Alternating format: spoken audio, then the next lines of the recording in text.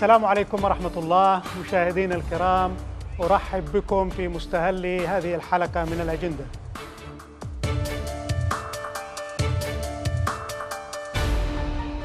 في أجندة هذا الأسبوع هزيمة القاعدة تطوي صفحة سيئة من تأثير الإرهاب على مستقبل اليمن. الحوثية التنظيم الإرهابي المدلل.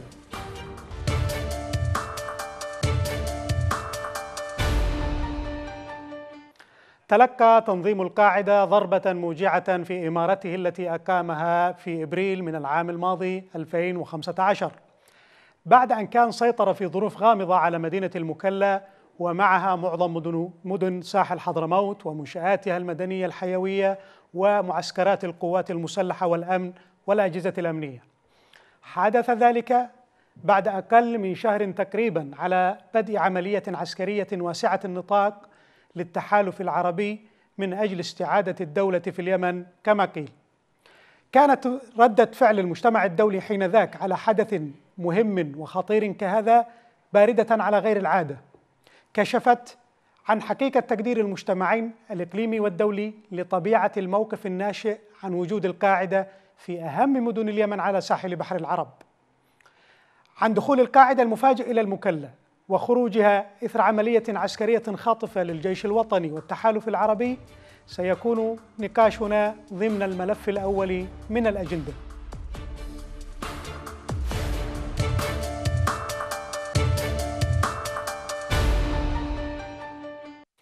دعونا اولا نطلعكم على ملخص الرواية الرسمية التي سردها قائد المنطقة العسكرية الثانية اللواء فرج عوض البحسني. وهو أيضا قائد عملية تحرير مدينة المكلا ومدن ساحل حضرموت.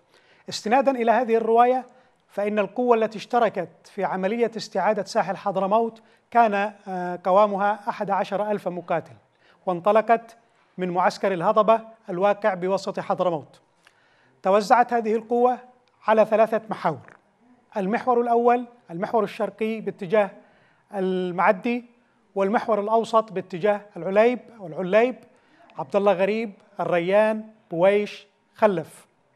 والمحور الغربي باتجاه طريق القبلية الحرشيات وبحسب العميد البحسني كانت القوات التي تحركت ضمن المحور الأوسط هي أول القوات التي دخلت المكلا وقد اشتركت في عملية التحرير القوات الجوية والبحرية وكان لضربات الطيران الحربي إسهام كبير في الاستهداف الدقيق لمواقع وتجمعات تنظيم القاعدة. اللواء البحسني أكد أن الجيش والمقاومة خاضا معركة مع عناصر القاعدة في منطقة الأدواس وعبد الله غريب والعيون وعلى مشارف الريان. وعلى إثرها على إثر تلك المعركة تمت السيطرة على معسكر الأدواس والريان والمعسكرات الأخرى فيما استكملت قوة النخبة الحضرمية السيطرة على ميناء المكلا والقصر الجمهوري. هذه إذن هي خلاصة الرواية الرسمية لمعركة استعادة المكلا وساحل حضرموت.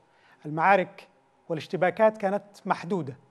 كان للطيران دور حاسم في إنهاء سيطرة عناصر التنظيم على مؤسسات الدولة والمنشآت والمرافق والدفع بعناصر القاعدة إلى تنفيذ عملية انسحاب جماعي لم تشر إليها الرواية الرسمية بالطبع. لكن المحصلة هي أن المعركة أو معركة عسكرية خاطفة مكنت الدولة من استعادة السيطرة على ساحل يبلغ طوله نحو 300 كيلومتر بكل ما يضم من مدن ومنشآت حيوية. التحدي الأمني يظل ماثلا في ظل توقعات بوقوع ارتدادات في شكل عمليات وهجمات انتحارية تعودناها من القاعدة.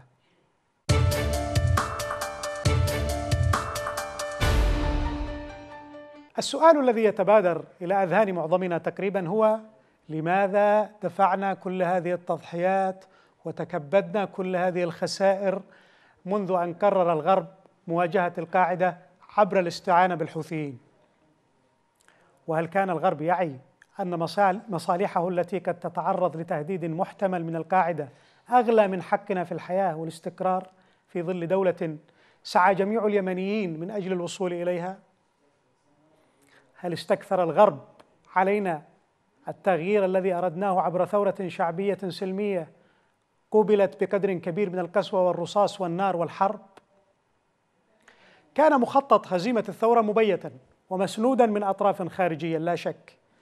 لكن الداخل لعب بأوراق خطيرة جدا لإنجاز هذه المهمة.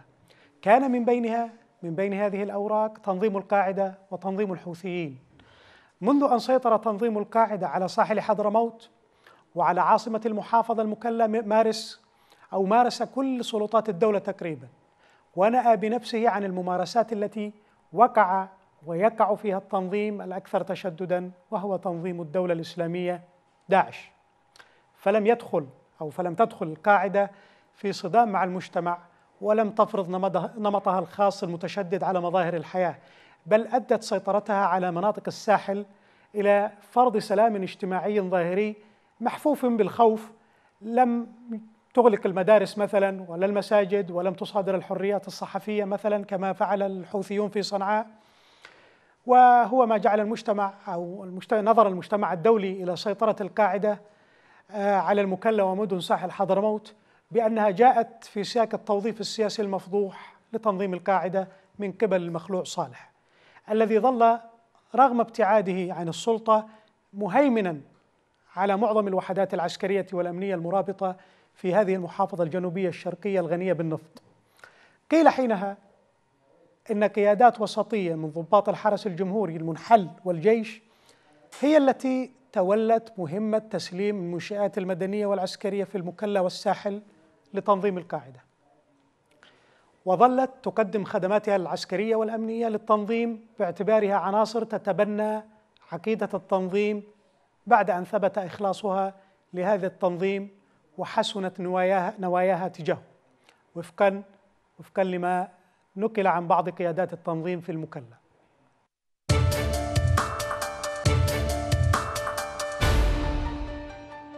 يعود أول توظيف واسع النطاق لعناصر تنظيم القاعدة في حضرموت من قبل المخلوع صالح إلى عام 2011 تقريبا. وبالتحديد في الثاني والعشرين من شهر يونيو. حينها تمكن 62 عنصرا من تنظيم القاعدة من الفرار من سجن المكلا المركزي. بينهم محكومون بالإعدام.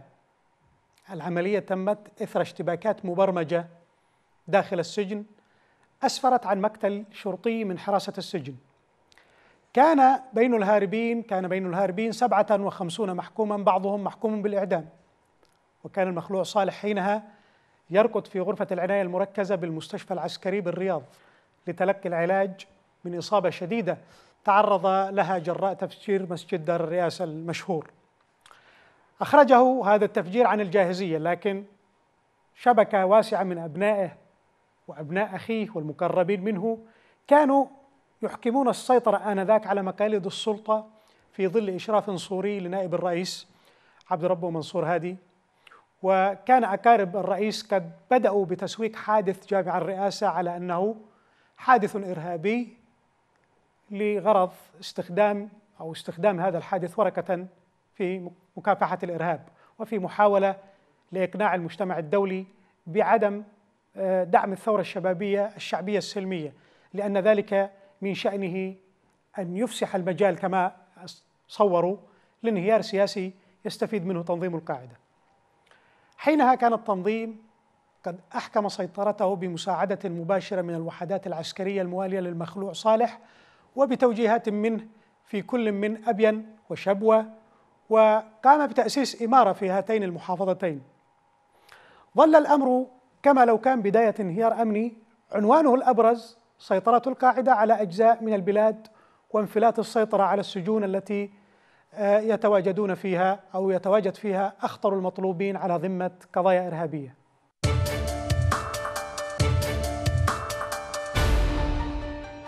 لحسن الحظ دعمت الولايات المتحدة والمملكة العربية السعودية نائب الرئيس هادي في أول عملية عسكرية واسعة النطاق لمواجهة القاعدة في أبين وشبوة. ولم يكن أمام قادة الوحدات العسكرية وبالأخص الحرس الجمهوري المنحل من خيار آه، سوى التعاون مع نائب الرئيس في مواجهة التنظيم أو تنظيم القاعدة تحديدا وهو تعاون شابه التواطؤ أحيانا لصالح القاعدة ولكن ذلك لم يحدث إلا بعد أن تبين أن صالح قبل أن يتعرض للإصابة كان قد قام بما يشبه المناورة في أبين حيث ادعى أنه يقاتل القاعدة أو يقاتل القاعدة في في حقيقة الأمر بينما كان كانت الوقائع الميدانية تثبت أنه يعزز من وجودها ويقدم لها إسنادا خفيا ولكنه إسناد مفضوح بالطبع وهو ما أبقى سيطرة تنظيم الشريعة قويا في أبين. نجح نائب الرئيس هادي آنذاك في المهمة واستطاع إنهاء إمارة أنصار الشريعة في أبين بدعم وإسناد من الطيران الحربي الأمريكي والسعودي. ولكن ذلك لم يكن معلنا بالطبع. وفي شهر مايو 2014 أمر الرئيس هادي الجيش بالتحرك لإخراج عناصر القاعدة التي أعادت التمركز في مناطق واسعة من شرق أبين وغرب محافظة شبوة. لكن خطوة الرئيس فهم منها آنذاك العديد أو فهم منها العديد من المراقبين آنذاك بأنها جاءت في إطار صرف الأنظار عن الترتيبات التي كانت تعد لاقتحام عمران وصنعاء من قبل الحوثيين ووحدات موالية عسكرية موالية لصالح لتصفية نفوذ قوى الثورة في صنعاء وتقويض البنى التعليمية والاجتماعية لخصومهم المناهضين وخاض حينها الجيش معركة مشابهة للمعركة التي خاضها التحالف والجيش. الجيش الوطني طبعا والمقاومة ضد القاعدة في المكلا فقد لجأت عناصر التنظيم إلى الانسحاب من أمام الجيش والتخفي في ملاذات جبلية أو الذوبان في أحضان الحواضن الاجتماعية. لتعيد القاعدة انتشارها من جديد وفق الأجندة السياسية للاعبين الأساسيين في المشهد اليمني للأسف.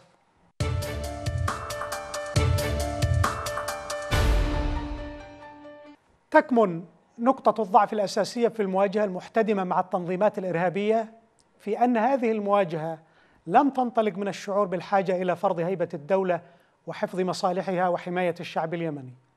ولم تكن تعبيرا عن أولوية ملحة لليمنيين بقدر ما جاءت في سياق الاستجابة للأولويات الخارجية. لم تتحول مواجهة القاعدة إلى مشروع وطني جامع يسمح بتوظيف كل الطاقات والإمكانيات في هذه المواجهة متعددة الأبعاد والتي تقتضي في جزء منها تجفيف المنابع وتقويض الحواضن الاجتماعية. وهي عمليات لا تقتصر على الجانب الأمني وإنما تعتمد على سياسات ناجحة وفعالة على المستويين الاقتصادي والثقافي. كان يمكن للدولة اليمنية منذ عهد المخلوع صالح أن تقضي على نفوذ القاعدة بشكل كامل وأن تعزز من إمكانيات الدولة في المواجهة واحتواء خطر التنظيمات الإرهابية على الأقل بما لا يسمح لهذه التنظيمات بتوجيه ضربات مؤثرة للمفاصل الأمنية والاقتصادية للبلاد. الذي حدث هو أن المخلوع صالح على وجه التحديد نظر إلى القاعدة كإحدى الأوراق التي يمكن أن تساعده في استدامة حكمه ومشروع توريثه لنجله من بعده وتتيح له فرصة التفرد بالقرار وتهميش الحريات والتنصل من تبعات الشراكة الوطنية ومن معالجة التداعيات الخطيرة الناجمة عن إقصاء شريك الوحدة الحزب الاشتراكي اليمني. تلقى صالح مساعدات كبيرة من الولايات المتحدة الأمريكية وتماهى مع المشروع الأمريكي آه، القائم على فكرة مكافحة الإرهاب إلى حد أن أصبحت العقيدة القتالية للوحدات العسكرية والأمنية الخاصة ووحدات مكافحة الإرهاب هي نفسها العقيدة التي فرضتها واشنطن. وتتلخص في مواجهة القاعدة وهزيمتها.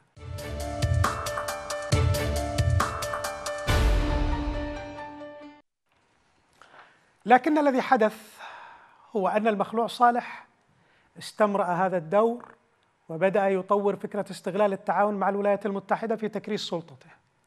دفعه التفكير في هذا السياق إلى أن يصنع قاعدة خاصة به لكي يستطيع استخدامها في سياق مشروعه السلطوي إلى حد أن القاعدة باتت تعتمد في كل أنشطتها على الدعم الذي تلقته من المخلوق وأجهزته العسكرية والأمنية بدءا من أبين وانتهاء بحضرموت هذه الحقيقة استوعبها المجتمع الدولي فيما يبدو ولهذا لم يكن لديه مانع البتة في أن يضغط على صالح لكي يتنازل عن السلطة.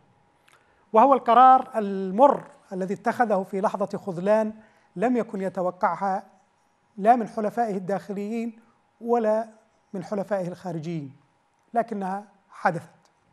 وبات صالح خارج السلطة رسميا لكنه كان حاضرا بقوة في مفاصلها المتشابكة وفي بناها العسكرية والأمنية والسياسية والاقتصادية. هذا الأمر أبقاه حاضرا في المشهد ومؤثرا بشكل سيء في مسار التحول السياسي السلمي الذي استفاد منه بالحصول على حصانة أتاحت له فرصة البقاء في واجهة الحزب المتحكم بمعظم مؤسسات الدولة.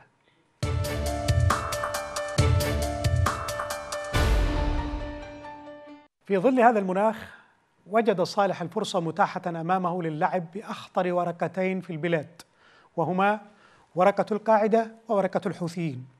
وكلاهما نقيضان لبعضهما من حيث العقيدة لكن أو لكل منهما مشروع مختلف ولكن لكن مضي أي منهما في مشروعه يمكن أن يوفر لصالح فرصة العودة إلى السلطة خصوصا إذا استطاع أن يدمر الأسس التي يقوم عليها النظام الانتقالي. وحينها لن يكن أو لن يكون هناك طرف قادر على التدخل والسيطرة سوى المخلوع وأجهزته الأمنية والعسكرية. دخل الحوثيون صنعاء بدعم من الوحدات العسكرية التابعة لصالح.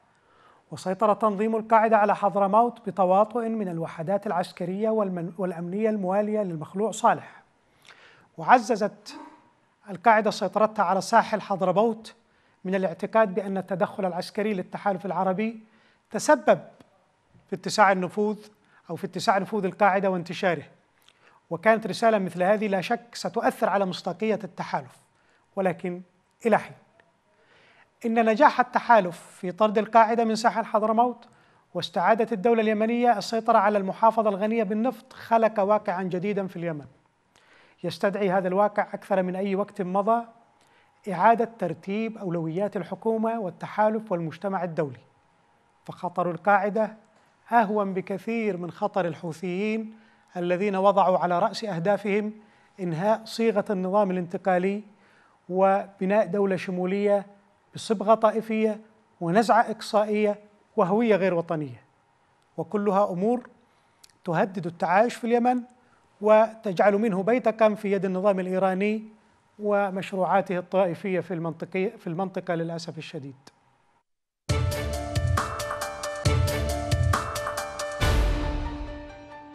ولكن هل يعد تحرير المكلا ومدن ساحل حضرموت وعودتها إلى كنف السلطة الشرعية كافيا للخلاص من تنظيم القاعدة. هناك معلومات ميدانية تحدثت عن انسحابات سريعه قام بها تنظيم القاعدة إلى خارج المحافظة قبيل دخول قوات الجيش بساعات. وهذا جزء من التكتيكات التي تعودنا عليها من التنظيم في الفترات السابقة. وهو ما يطرح السؤال عن الآلية الأكثر كفاءة لمحاربة القاعدة ومواجهتها وإنهاء وجودها في اليمن. من أهم هذه الآليات أن تتم المواجهة بواسطة الدولة وأدواتها وليس عبر مقاولات خطيرة مع تنظيمات مذهبية وطائفية لا تكل عنفا وإرهابا عن القاعدة كتنظيم الحوثي. هذا يعني أن هزيمة القاعدة تستدعي أن يكون أو أن تكون في إطار مشروع وطني جامع جوهره دولة يتوافق عليها الجميع دولة مدنية اتحادية متعددة الأقاليم دولة تتبنى قيم قيم الديمقراطية والتعددية وتطلق الطاقات المبدعة للبناء فهل هناك أفق يسمح بذلك؟ دعونا نتابع هذا التقرير ماذا بعد خروج القاعدة من حضرموت؟ سؤال يتردد بقوة رغم الإيقاع السريع للمعركة التي أنهت وجودا للقاعدة في ساحل حضرموت دام عاما كاملا. خرجت القاعدة كما دخلت. لم تخض معارك أثناء سيطرتها على المكلا ولم تخض ذات المعارك أمام جيش قوامه أحد عشر ألف مقاتل ومدعوم بأحدث الطيران الحربي لا يبدو أن هذا التنظيم المراوغ سيجد فرصة لمعاودة الكرة إذا استمر التحالف العربي في تقديم الدعم القوي للجيش الوطني. ومضى في خطة بناء الدولة اليمنية القادرة على إدارة مشهد من المتوقع أن يستمر مثقلا بالتحديات فترة طويلة من الزمن. لكن هذا التنظيم لن يعدم في المقابل الوسيلة لمواصلة تسديد ضرباته الخاطفة خلال المرحلة المقبلة خصوصا وأنه سوف يراهن على ارتخاء قبضة الدولة ما لم يظهر التحالف العربي قدرا من العزم والحزم في تمكين سلطات الدولة العسكرية والأمنية من القيام بدورها خلال المرحلة المقبلة. التوظيف السياسي للقاعدة سلوك مفضوح عرف به المخلوع صالح طيلة فترة حكمه وخلال المرحلة المضطربة من تاريخ اليمن التي قذفت به إلى خارج السلطة. وليس من المستبعد أن يستمر هذا التوظيف إن لم يكن في حضرموت ففي أي محافظة أخرى يمكن أن تصبح مقصدا لتحرك القاعدة المراوغ الذي يشبه تحرك الرمال في صحراء مترامية الأطراف. قدم تحرير حضرموت عدة رسائل للداخل والخارج. مفادها أن التحالف العربي يستهدف كل التنظيمات المتطرفة على تعدد منطلقاتها الفكرية بما لا يدع مجال للاعتقاد الذي ساد طيلة الفترة الماضية وجعل من المغامرة الحوثية مهمة محتملة طالما وهي تتجه نحو العدو الذي يهدد المصالح الغربية أو هكذا يعتقدون. تكبد اليمن خسائر على مستوى البشر والحجر وقوض سلمه الاجتماعي وانهار اقتصاده واتسعت فيه مساحة الفقر إلى حد أن الملايين من اليمنيين باتوا في أمس الحاجة إلى المساعدة الملحة كما تشير إلى ذلك تقارير المنظمات الدولية. إنه الحصاد المر والباهظ الكلفة للقرار الذي اتخذه الكبار ودفع ثمنه اليمنيون حينما قرر هؤلاء الكبار التضحية بكل المكاسب السياسية التي أحرزها اليمنيون. من أجل تحقيق هدف واحد هو هزيمة القاعدة التي تقلقهم أكثر من الحوثيين. تلقف الحوثيون المهمة فحاربوا بأسلحة الدولة اليمنية وجيشها في كل مكان فلم يقتلوا سوى المدنيين المسالمين ولم يهزموا سوى الدولة والشراكة الوطنية. أما القاعدة فبدا أنها عدو أسهل بكثير كما كشفت عن ذلك معارك حضرموت وأبين الأخيرة. لكن هزيمة القاعدة لا تتحقق بالميليشيات بل بأدوات الدولة وسلاحها. يحتاج اليمنيون إلى استعادة دولتهم وإنهاء نفوذ الميليشيا وحينها سينحسر شبح الإرهاب الذي كرسه الحوثيون بفكرهم المتطرف أكثر مما كرسته القاعدة التي لم تكن سوى بيدقا أو ورقة في يد من يجيد اللعب بكل الأوراق. أعزائنا المشاهدين هنا ينتهي نقاشنا في الملف الأول من الأجندة. نذهب إلى فاصل قصير ونعود بعده لمواصلة الحديث في الملف الثاني. لا تذهبوا بعيدا.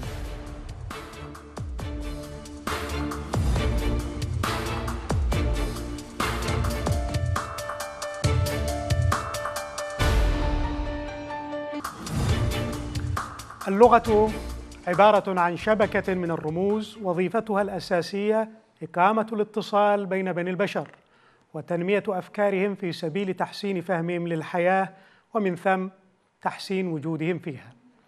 وشرط نجاح هذه العملية هو أن يكون لكل رمز معنى يشير إليه، وبدون هذا المعنى يبقى الرمز مجرد صوت أو صورة لا معنى لها. فحين ينطق أحدهم أو يكتب كلمة إرهاب مثلا فإن من المتوقع أن يكون لهذه الكلمة معنى محددا يعرفه القائل والسامع الكاتب والقارئ. أما إذا لم يكن لها معنى فهي مجرد صوت لا قيمة له. وأما إذا كانت تشير إلى معاني غامضة غير منضبطة مثل ما هو الحال مع كلمة إرهاب اليوم فإنها تصبح كلمة مشبوهة قد تستعمل لأغراض غير شريفة. وهو ما يحدث بالفعل بالنسبة لكلمة إرهاب كما قلنا. فقد أصبحت هذه الكلمة على كل لسان تقريبا حتى باتت من أكثر الكلمات انتشارا في العالم.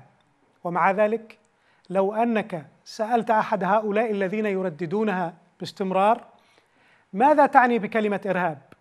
لسمعت إجابات بعدد المسؤولين. إذ لم يتبقى لهذه اللفظة من معنى سوى المعنى اللغوي القديم وهو الإخافة والفزع. فهي كلمة مشتقة من الفعل أرهب أي خوف وفزع. أما في العرف الدولي فما تزال اللفظة تعاني من غموض مقصود. هدفه توظيفها في الصراع بالمعاني التي تريدها المؤسسات الدولية المهيمنة. في هذا الملف من الأجندة سنسلط الضوء على تناقض القوى الدولية في توصيف الإرهاب من خلال المقارنة بين نموذجين متشابهين في الأفعال والأفكار إلا أن أحدهما يسمى بالإرهاب وهو القاعدة والآخر لا يسمى بالإرهاب وهو الحركة الحوثية في اليمن ومثيلاتها في الجزيرة العربية.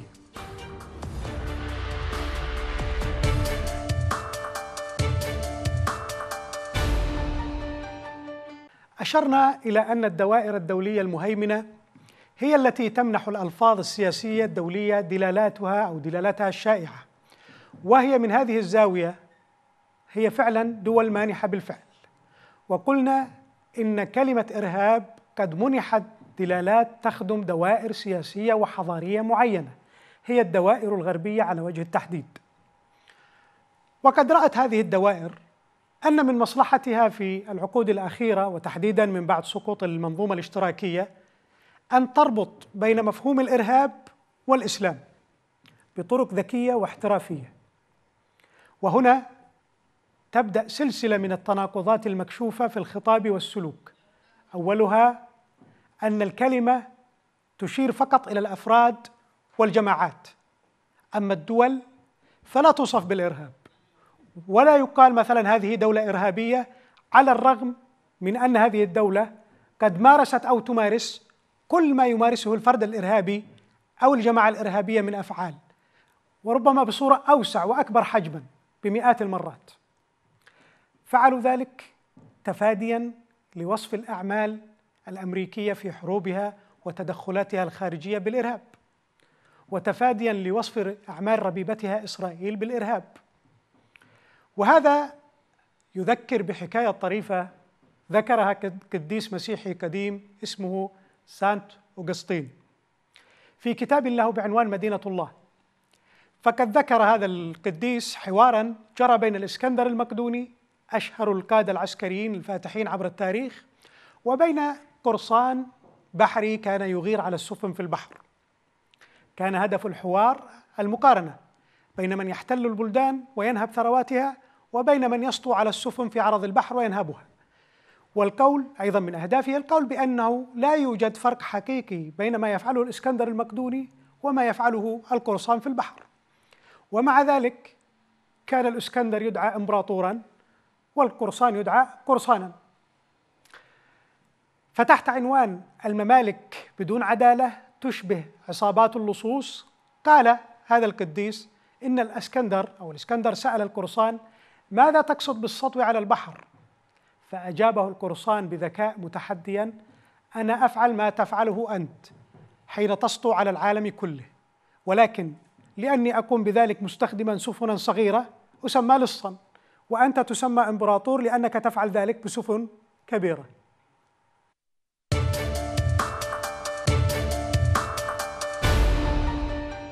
إنما تقوم به بعض الدول الكبرى بعض الدول الكبرى اليوم وبعض الدول والجماعات المدللة يشبه تماما ما كان يقوم به الإسكندر المقدوني لكنها لا تسمى مع ذلك إرهابية.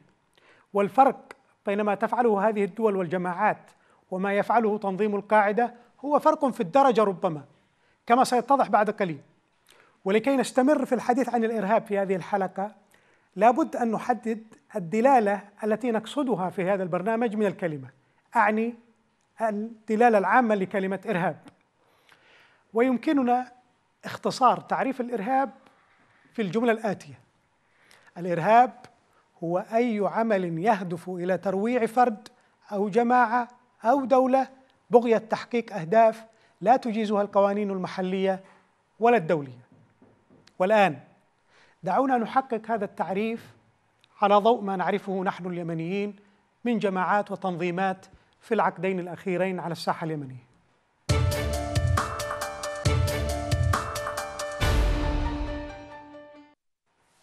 ما الذي يفعله تنظيم القاعدة ولا يفعله الحوثيون يا ترى؟ القاعدة تقتل والحوثيون يقتلون. القاعدة تفخخ والحوثيون يفجرون.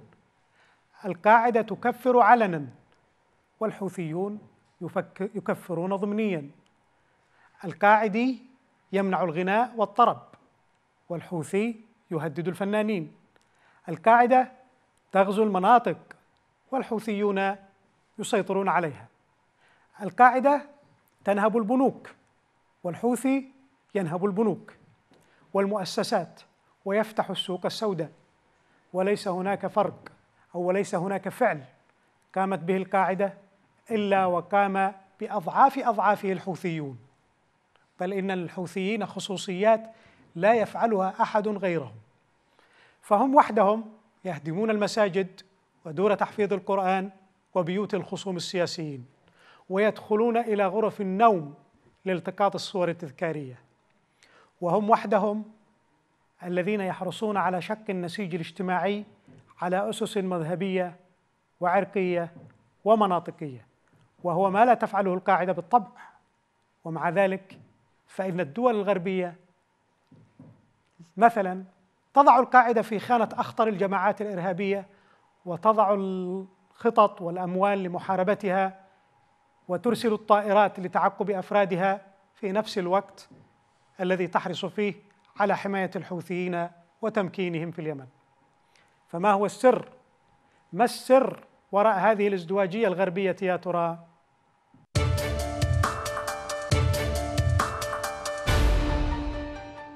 أول ما ينبغي ملاحظته هو أن أمريكا أو أي نظام سياسي آخر يستطيع التمييز بسهولة بين العدو الحقيقي والعدو الزائف.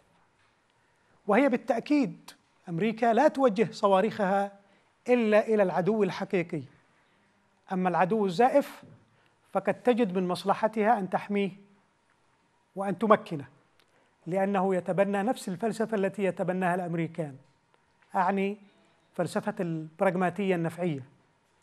النفعية هي الدين الحقيقي في أمريكا وهي أيضا الدين الحقيقي للمشروع الشيعي في المنطقة العربية كما ستثبت الأيام ربما بعد فوات الأوان. كذلك ينبغي ملاحظة أن الدوائر السياسية والإعلامية الغربية تربط بين مفهومين متلازمين هما مفهوم التطرف ومفهوم الإرهاب. وغالبا ما يوصف الفعل بالإرهاب إذا صدر عن من يوسم بالتطرف الفكري ولا يعد نوع الفعل نفسه إرهابا. فقتل المدنيين وتدمير المنشآت بهدف الترويع لا يعد إرهابا إذا قامت به دول أو إذا قامت به جماعات غير متطرفة من وجهة نظرهم. ومصطلح التطرف كمصطلح الإرهاب يتم تحميله بالدلالة التي تناسب الأجندة الغربية عامة والأجندة الصهيونية على وجه التحديد. ومع ذلك يمكننا أن نعتمد أحد تعريفات التطرف عندهم. لننظر إلى أي مدى يمكن أن ينطبق على حالات لا تصنف ضمن الحالة الإرهابية. يعرف التطرف عند البعض بالقول المتطرف هو الذي يرفض التسويات التي تمكن من العيش المشترك. والذي يعلم أن رفضه هذا قد يؤدي إلى حرب أهلية. ومع أن هذا الوصف ينطبق تماما على الحوثيين في اليمن حيث رفضوا كل التسويات السياسية التي تم الاتفاق عليها في مؤتمر الحوار الوطني وغيره واستقووا بسلاح الدولة وبسلاح إيران ضد شركائهم في الوطن وقادوا اليمن إلى حرب أهلية وإقليمية مدمرة بالرغم من ذلك إلا أن هذه الدوائر لا تصف الحركة الحوثية بالتطرف أو أنها لا تشدد على هذا الوصف كما تفعل مع جماعات أخرى غير مسلحة في الدولة الإسلامية. ومن واجبنا حينئذ أن نسأل لماذا؟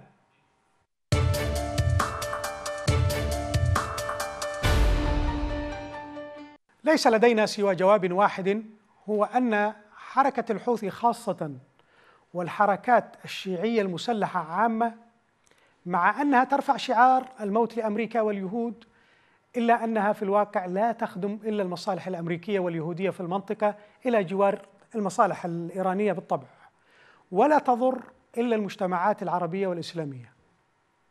وقد بينا في حلقة سابقة كيف يحدث هذا وكيف أن الأمر مرشح للوصول إلى حد التحالف المصيري بين هذه الكيانات وبين الكيان الصهيوني نفسه.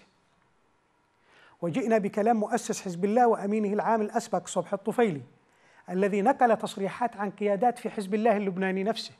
تؤكد هذا المعنى. وما يقال عن حزب الله اللبناني يصح تماما على الحوثيين في اليمن. فكلاهما جماعات طائفية تتبنى مبدأ العنف وتعلن في الظاهر شيء وتضمر في الباطن شيئا آخر. وإذا شئنا أن نطلع على عينه من أساليب هذه الجماعات في تزوير وعي الناس وإيهامهم بما ليس حقيقي فيكفينا أن نشاهد هذا المقطع لزعيم حزب الله حسن نصر الله في إحدى محاضراته أمام أعضاء الحزب وهو يؤكد يؤكد أن ما تعلنه الدول والجماعات هو شيء آخر غير ما تخفيه. الشعارات شيء والحقائق شيء آخر. دعونا نتابع هذا الفيديو. سؤال عن سابق أنه آية الله كاوبي قال كذا و... يعني سؤال داخل في إطار أسماء عن علاقة حزب الله بالجمهورية الإسلامية بقيادة الثورة الإسلامية في إيران. هذه العلاقة أيها الإخوة بالنسبة لنا. أنا واحد من هؤلاء الناس الذين يعملون في مسيرة حزب الله وفي أجهزته العاملة. لا أبقى لحظة واحدة في أجهزته لو لم يكن لدي يقين وقطع في أن هذه الأجهزة تتصل عبر مراتب إلى الولي الفقيه القائد المبرئ للذمة الملزم قراره. بالنسبة لنا هذا أمر مقطوع ومطمئن به. التصريحات الدبلوماسية والسياسية ليست هي الأساس في هذا المجال. يعني ليس طبيعيا أن يقف آية الله كروب ويقول نعم حزب الله إن جماعتنا بلبنان. سياسيا هذا مستحيل اعلاميا مستحيل. على مستوى العلاقة العضوية والجوهرية مع قيادة الثورة الإسلامية في إيران وولاية الفقيه هذه المسألة بالنسبة لنا أمر مقطوع به. وهذه المسيرة إنما ننتمي إليها ونضحي فيها ونعود أنفسنا للخطر لأننا واثقون ومطمئنون بأن هذا الدم يجري في مجرى ولاية الفقيه. من لم يطمئن عليه أن يسأل الثورة الإسلامية في إيران عن هذا الأمر حتى يحصل على الاطمئنان واليقين. الشيخ حسن نصر الله في الفيديو السابق يقول ما معناه إن من الذكاء السياسي ألا تعلن عن هويتك الحقيقية. فحزب الله مثلا هو عبارة عن فرع إيراني للثورة الخمينية في لبنان وولاؤه كله للإمام الخميني أو بالأصح للولي الفقيه في إيران. ومع ذلك كما يقول لا يصح أن نجاهر بهذه الحقيقة أمام الناس. لماذا؟ لأن هذا سيكشف حقائق كثيرة من بينها أن الحزب لا يخدم لبنان بل يخدم إيران وأن الحزب يسعى لجعل لبنان جزءا من الدولة الكبرى التي ينوي الشيعه إقامتها في المنطقة. هكذا دون أي اعتبار للتنوع الديني والمذهبي في لبنان. لنتابع مرة أخرى ما قاله حسن نصر الله في هذه الجزئية ثم نعود للنقاش. ما شكل النظام الذي يريده حزب الله في لبنان في الوقت الحاضر حسب وضع البلد وتعدد الطوائف؟ هذا السؤال كل المحاضرات السابقة تجيب بمجموعها على هذا السؤال. بالنسبة لنا ألخص في الوقت الحاضر ليس لدينا مشروع نظام في لبنان. نحن نعتقد بأن علينا أن نزيح الحالة الاستعمارية والإسرائيلية وحينئذ يمكن أن ينفذ مشروع. ومشروعنا الذي لا خيار لنا أن نتبنى غيره كوننا مؤمنين عقائديين هو مشروع الدولة الإسلامية وحكم الإسلام وأن يكون لبنان ليس جمهورية إسلامية واحدة وإنما جزء من الجمهورية الإسلامية الكبرى التي يحكمها صاحب الزمان ونائبه بالحق الولي الفقيه الإمام الخميني. إذا فحزب الله لا يعترف بالحدود الوطنية للدولة اللبنانية مثله مثل القاعدة والجماعات الإسلامية الأخرى التي تفكر في حدود الخلافة وفي لا في حدود الدولة الوطنية. مع فارق أن الجماعات الأخرى لا تشدد على البعد الطائفي للمشروع كما تفعل الجماعات والتنظيمات الشيعية للأسف. والذي يهمنا من هذا الكلام هو أن الحالة الحوثية لا تختلف مطلقا عن حالة حزب الله، بل إنها أسوأ بكثير. نظرا لاختلاف الثقافة بين المجتمعين اللبناني واليمني من ناحية والاختلاف النظرية السياسية بين مذهب الاثنى عشريه الذي يتبناه حزب الله والمذهب الهادوي الذي يتبناه الحوثيون. فالمذهب الاثنى عشري يجعل الإمامة للمنتظر الغائب فقط الذي يعطى يعطي صلاحياته المؤقتا لنائبه خميني أو خامنئي أو أي كائن كان. أما في حالة في الحالة الحوثية فإن كل سلالي سيصبح إماما أو أميرا مما يعني أنه سيصبح لدينا في اليمن قرابة 2 مليون أمير وأميرة ولله الحمد.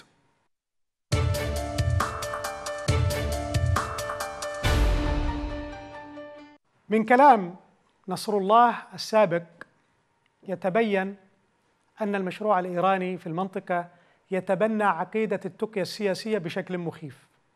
مما يجعلنا نتساءل هل شعارات الموت لأمريكا التي يرفعها الحوثيون تنبي عن عداوة حقيقية مع أمريكا والمشروع الصهيوني في المنطقة؟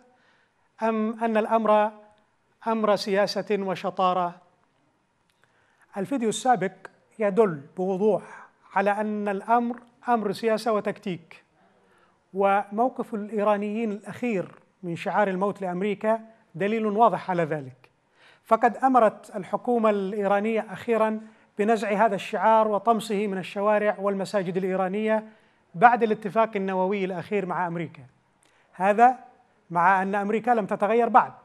فما زالت هي نفسها أمريكا التي عرفها الناس في عهد الخميني وربما أسوأ. فما الذي تغير اذا حتى يسقط شعار الموت لأمريكا في إيران وتعلق مكانه لوحات فنية لبيكاسو وسلفادور دالي. الذي تغير هو المصالح الإيرانية نفسها. ويبدو أن إيران الخمينية قد اتخذت سياسة نفعية ذكية.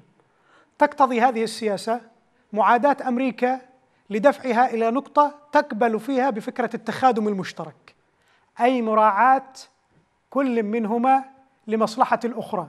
حك لي أحك لك. وهو ما يبدو أنه تحقق في الآونة الأخيرة. كما أن هذه الخطة خطة العداوة من أجل المحبة قد خدمت إيران بالترويج لنفسها في الوسط السني الكبير الذي كان من المتوقع أن يقف أمام مشروعها الإمبراطوري في المنطقة. وكان قميص فلسطين هو الدعاية الأبرز في خطة التمكين الإيرانية مما يعني أن هذه الشعارات مجرد وسائل دعائية لحشد الناس حولها لأنهم بحاجة الجماهير إلى نقطة معينة. محتاجين هذه الجماهير إلى نقطة معينة. عند هذه النقطة سيتخلون عن الجماهير وسيتخلون عن الشعارات وتلك القضايا عندما يصبح المشروع متمكنا وثابتا. حينها سيخرجون ألسنتهم للجمهور وللقضية الفلسطينية ولكل الشعارات الفارغة ويقولون السياسة لا تحمي المغفلين. وها هو الحوثي اليوم بعد أن دمر ما دمر وقتل ما قتل في حرب عبثية مع دول الخليج يعود اليوم ويتخلى عن كلمة العدوان السعودي ويستبدلها بعبارة الإخوة والأشقاء في السعودية على لسان ناطقه الرسمي. وإن غدا مليء بالمفاجئات بالمفاجآت.